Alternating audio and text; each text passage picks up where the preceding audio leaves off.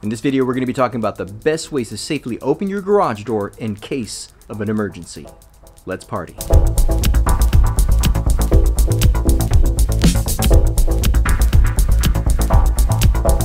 Okay, here's my disclaimer.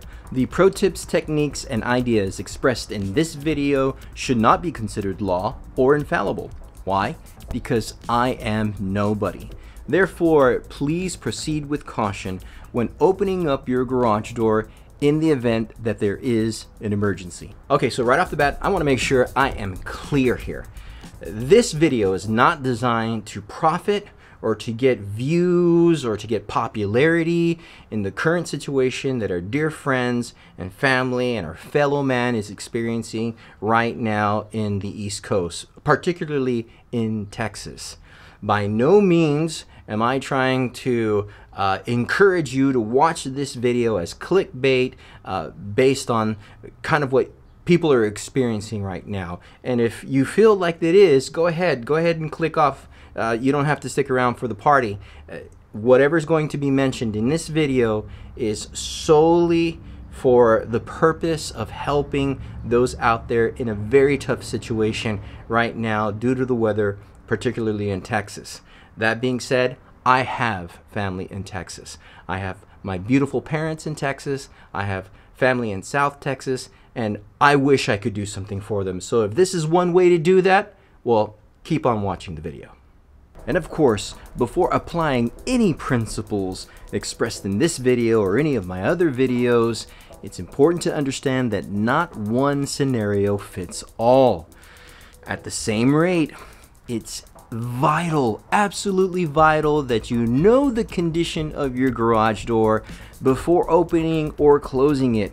I can't stress how many times sometimes customers are unaware that they have a broken torsion spring or they have something wrong with their door system and they decide to open or close their garage door and it collapses or it has problems. So please, it's vital that you do safety inspections regularly on your garage door. It is vital to know whether you have good balance and it is vital to be aware if you have a broken spring to your garage door because if you do, then it will be very difficult. In fact, you probably most likely will not be able to exit your garage or leave your garage safely with a broken spring.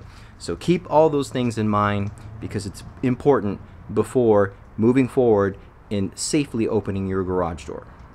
Okay, so your first line of defense is going to be the emergency release cord. This is the red cord that is connected to your trolley carriage and it basically looks like this. It's just a red cord like this that you're able to pull on. You're able to pull on it from arm's reach. You shouldn't have to tippy toe. You shouldn't have to get on a ladder. You shouldn't have to jump up to get it. It should just be dangling like so in a way that's, you know, it's away from your vehicles, perhaps maybe luggage rack or inconspicuously just, you know, hanging right there so that way in the event that you need to release it from your garage door opener to the garage, well, you can do so and then lift the door up. You know, I have a lot of these around. These uh, emergency releases happen to be the Genie ones. And um, some of the older Genie ones, like I think like the Genie one on the 1024, it is horrible. It's poor it'll tend to break. So if you have a 1024 model, you know, buy, go out and buy one or perhaps maybe make yourself one out of a little bit better rope. You, you kind of do need a thin style for it. Um, but the point is, is that you should have this already installed onto your garage door opener trolley carriage that connects to the garage door.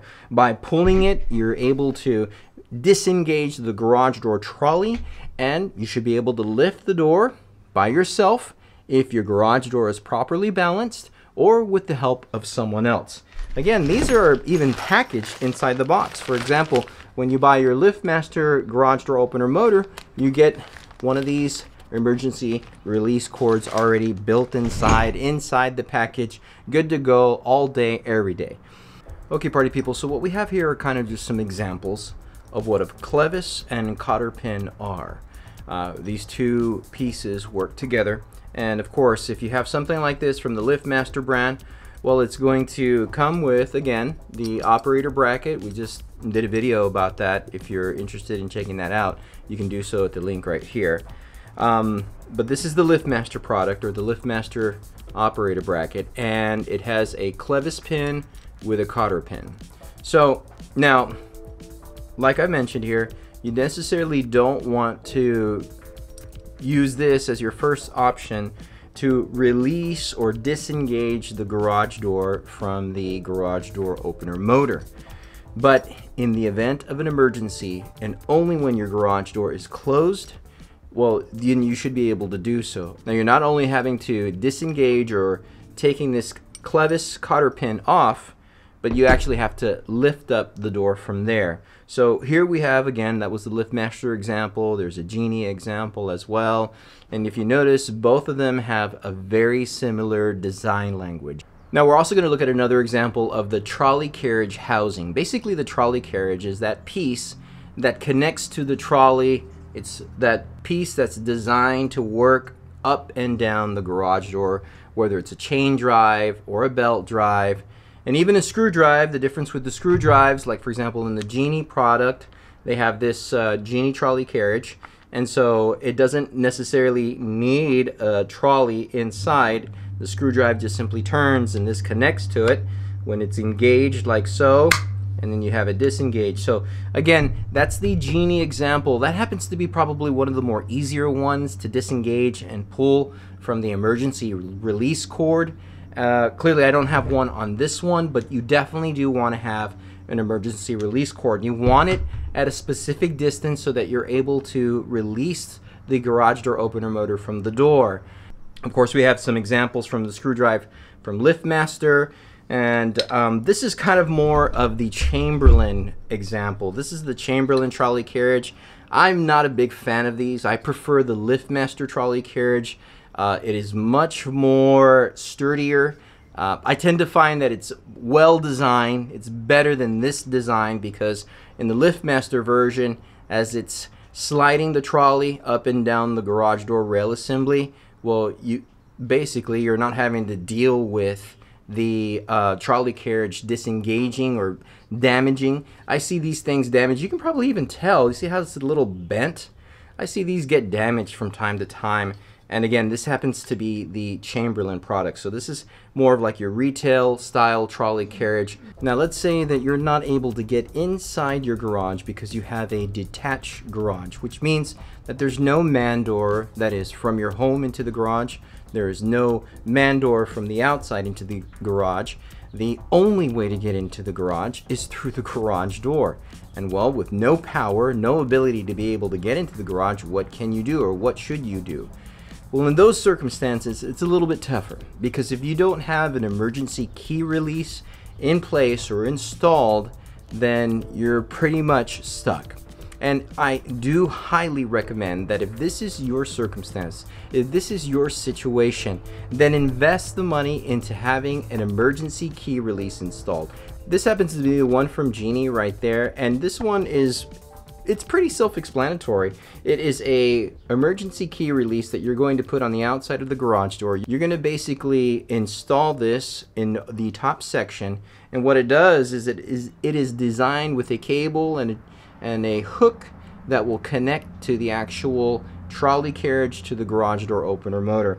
Now this is kind of like the Genie brand, I guess you could say, but it, would, it will work with any brand out there. You should be fine with LiftMaster, Linear, Marantec, whichever ones that you're currently using.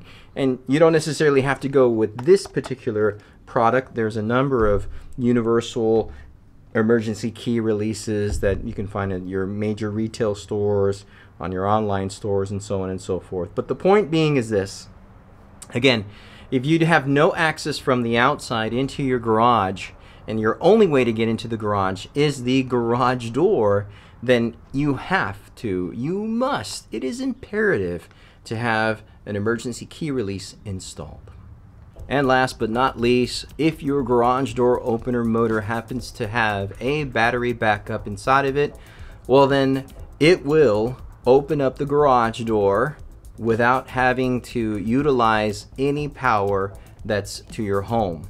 Now, this is an important part because quite frankly, these batteries well, they're not perfect. This happens to be the LiftMaster battery. and this is a 12 volt 4.5 amp battery. It is an acid battery, so it does have to be replaced I would say probably every two to three years. In fact, your garage door opener motor will give you a sign or give you a notification, a beep to let you know, hey, it needs to be replaced. Now the point that we want to emphasize with regards to battery backup garage door opener motors is that they are not the ultimate solution. They should not be promoted or presented as the ultimate safety feature. That's just not the case. It's a nice added feature, but if you don't have it, you're still able to get out your garage. This will just simply utilize your garage door opener motor to open up your garage door in the case of loss of power. Hey party people, if you're getting value out of this video, please do me a favor and smash that like button. In fact, if you haven't yet, consider subscribing, because on this channel we provide you pro tips and tech reviews for all your residential garage door needs. Now let's get back into this video. And so what we've covered right now with regards to the emergency release cord, the clevis cotter pin, the battery backup, the emergency key release, all of these different aspects and being able to open up your garage door due to loss of power or in an emergency can apply to roll up doors and swing up doors. So if you have either one, you should be able to implement the same principles to be able to get your door open safely. Now, one thing that I do want to caution is that if you are in a rush, if it is an emergency and you're having to uh, simply just quickly exit the home, exit your garage, uh, please stay calm. Uh, be mindful of your surroundings, particularly your garage. Uh, if it's not fully open or not fully closed, uh, you know, I have seen in cases where, due to an emergency circumstance, or maybe we get a little frazzled due to our situation, that we just don't see the garage door open up all the way and it's like halfway open. And so that has happened.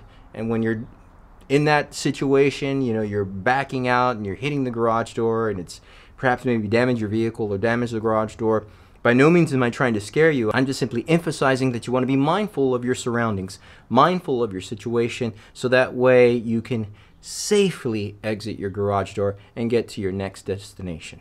Now, I want to end with this final thought. By no means is this video designed to create fear, to monetize, or profit from the bad situation that our dear friends and family in Texas are going through. Like I had expressed in the beginning of this video, I have family in North Texas and in South Texas, throughout all over Texas. In fact, I know that many of them are doing fine, but still they're going through a difficult time based on the circumstances. I have friends over there. I have work colleagues in Austin and near the uh, um, Oklahoma border. The point that I'm trying to get at is, is that I have an invested interest in what's happening over there.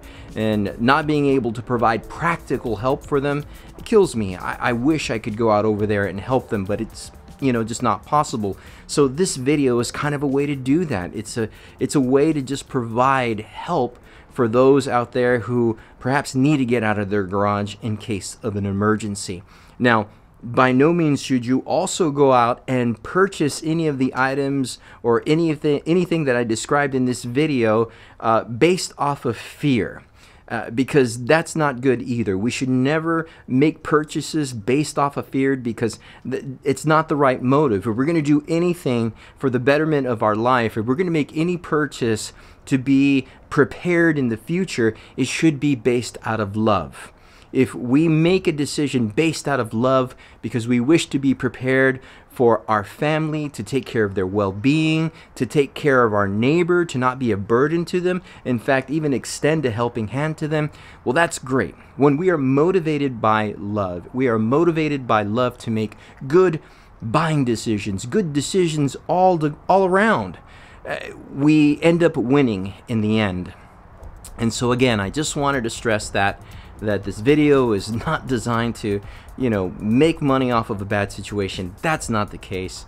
I felt that I had to do this in my heart because it was weighing on my mind since all this has started, and I figured it was just one way to help you party people for all that y'all are. I mean, all the great uh, feedback and all the all the views and all that. I appreciate that. I really, really do. But it, again, this channel is designed to provide pro tips and tech reviews for all the residential garage door needs, and this is just one way that I think I can just give back to this community. Thanks again for partying with me. Check out this other video right here that YouTube thinks that you should watch. Of course, if you have a question or a comment, leave one down below. I appreciate you watching this video. Y'all stay safe.